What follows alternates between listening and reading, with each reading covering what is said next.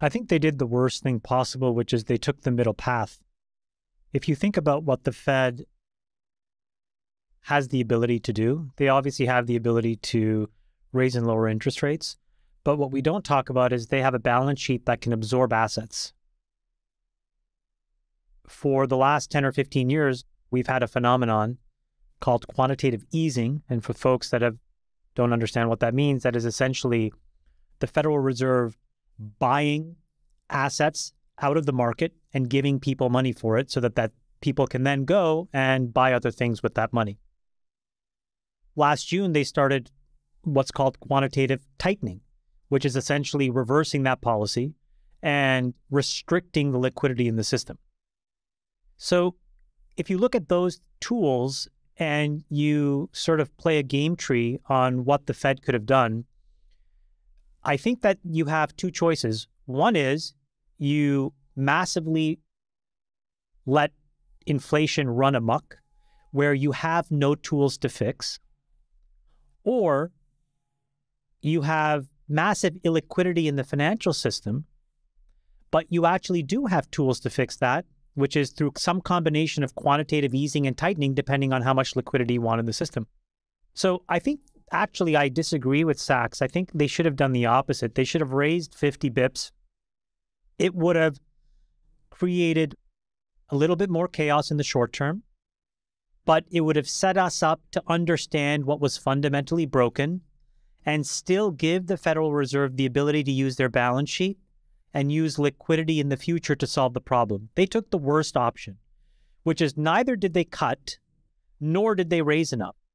And so this problem that Sacks represents actually is the fundamental problem now, which is you won't have enough clarity and signal to really know whether this 25 basis point enough. Look, I've maintained now for nine months that rates are going to be long, higher than we like and longer than we want.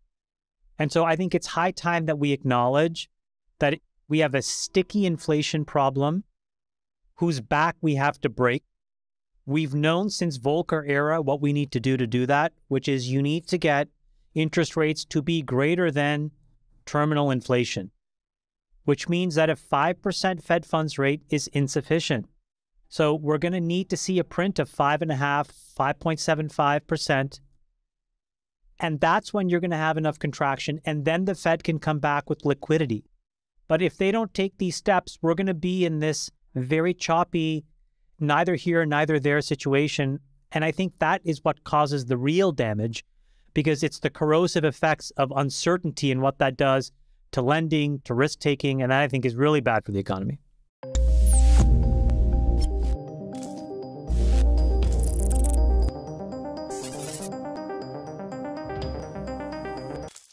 Narratives among crypto bulls are ephemeral except for one.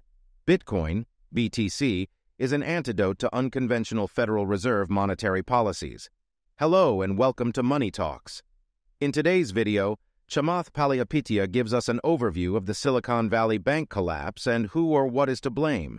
And also, what does this mean for the VC industry? You can see it in the credit default spreads of these banks. It's in the water table already, so you can, Nick, you can just throw it up if you look at any bank that's lending and that has a portfolio, this is Deutsche Bank's, you know, euro denominated CDS. But it's the same for Barclays, it's the same for SocGen, it's the same for a bunch of American banks.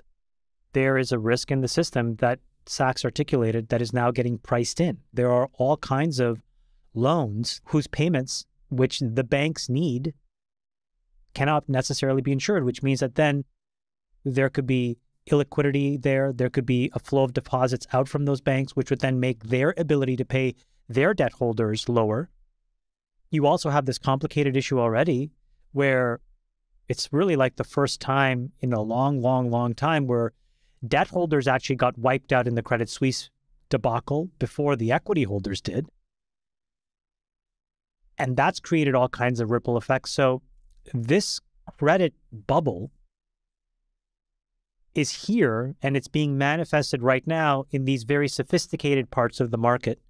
And eventually they'll ripple to the broader economy at large. But how a person feels this is they're not going to be able to get a car loan or a mortgage, or the interest rates they pay will go up.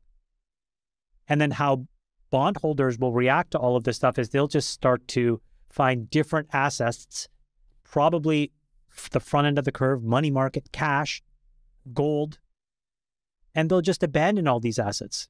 And then the other problem is that it's just really, really bad for risk assets. So the things that we invest in, startups, technology companies, either in a world of inflation run amok because the Fed isn't hiking fast enough, which just destroys future cash flows, or in a world where the Fed pivots in a moment like this, and Nick, you can show the second chart, both result in the same outcome, which is that you just see these massive drawdowns in the value of risk assets.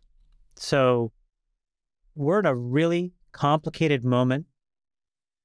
And this is why I think, again, the Fed needed to take leadership this past week and actually do the hard work of either cutting 50 bips or raising 50 bips. And this middle path is the absolute worst path because trying to thread a needle in this complicated economy, I think, is just going to be impossible.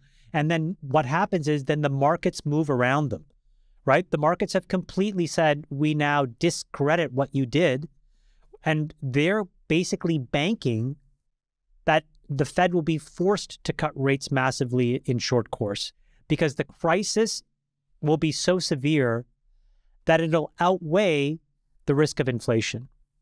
It has recently reached a fever pitch on crypto Twitter thanks to venture capitalist and angel investor Balaji Srinivasan saying he'd wager that Bitcoin will hit the $1 million mark within 90 days. The former Coinbase chief technology officer also predicted a U.S. banking crisis that would crash the dollar and spur hyperinflation, an excessively fast rise in the price of goods and services. The U.S. dollar, the de facto global reserve currency, has yet to suffer through this type of extreme devaluation. I, I think it's not the end of days, but I, I think you're conflating a bunch of things together. So, look, MMT. Yes, I am. Yes. Was in hindsight idiotic. In the moment, it never quite made sense, but in hindsight, it's clearly idiotic. And I think that we can properly dispense with that. But the reason that we print so much money is sort of what Friedberg says, which is that we just want a well functioning society. And the simplest and shortest way to do that is to make sure that there aren't any winners and losers anymore. And the most effective way to do that in the markets is with money print a bunch of money and there are no more winners and losers. And so everybody can kind of win. Some people may may win more, but nobody really ever loses. So I think that's the that's the MO that we're operating under. The thing is, There's I don't something that, unhealthy to that, Chamath. You're sort of alluding Yeah, to but- no losers. that's a more philosophical and a commentary on capitalism and a bunch of other things. And you're right. I don't think it makes sense. I do think you need winners and losers to really make society function well. But the other part of it is like, does it reinforce or does it decay US dollar hegemony? And I think it actually reinforces it. And the reason is just very practically speaking, when you look at how dependent other people, other countries are on the US dollar, in times of stress, they actually become more dependent. And that has to, a lot to do with their borrowing patterns, the amount of dollars central banks need outside the United States. And so, what did you see in a moment of stress? Actually, the Fed opened up swap lines to all the central banks that they work with, uh, their most important operating partners, so Europe, Canada, Japan, etc., Switzerland, and they moved the liquidity window from weekly to daily, and they pounded the swap lines. So I don't know. I think that most people that that kind of like it's like a boy crying wolf. Maybe at some point somebody will be right, but you're going to lose so much money trying to take a point of view around this topic that it's more practical to just look at dollar flows. And dollar flows go up in moments of stress, not go down. And they go up in a distributed manner across the monetary plumbing of the world. Balaji's prediction follows the Fed opening liquidity taps in the form of dollar lending programs to contain the banking sector instability in the wake of Silicon Valley Bank's collapse. Similar forecasts predicting Weimar Republic style U.S. hyperinflation made plenty of noise following the COVID spurred crash of March 2020 and the 2008 global meltdown. On both occasions, the Fed poured trillions of dollars into the system through outright asset purchases or quantitative easing, QE. Hyperinflation almost always results from a large amount of money chasing the same amount of goods and services being supplied in an economy. In other words, the money created through QE or other measures must be spent on the stagnant stock of goods and services to boost inflation. Assets like stocks or cryptocurrencies can hyperinflate in terms of valuations if the newly created money enters financial markets instead of the real economy, as it did following the 2008 and 2020 crashes. It's the latter. I mean, I think that there was a rumor going around. I don't know how true it is that FTX was days away from getting a critical approval by the SEC to actually even further legitimize their US exchange before they went out of business. So I think Gensler had to pivot very hard from, at a minimum, being very pro FTX, and there's all kinds of stories about his interrelatedness with Sam and his family, to very anti bit or anti crypto in general. That's clearly happened.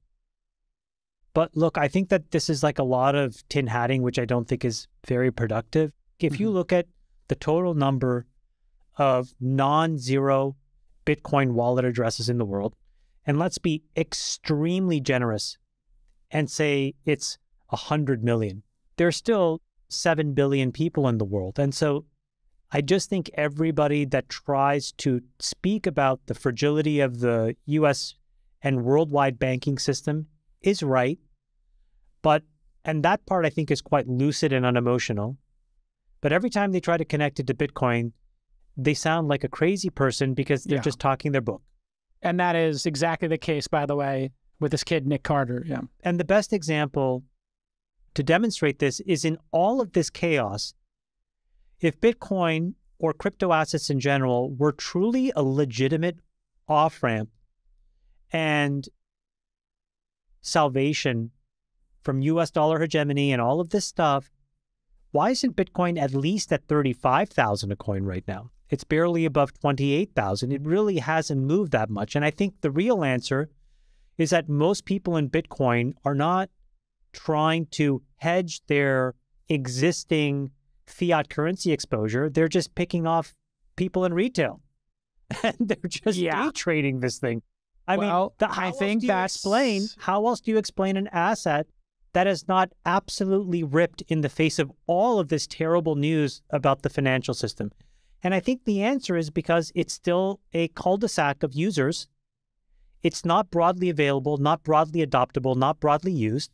I, I still believe that it's valuable. I was the earliest proponent of Bitcoin, 2011.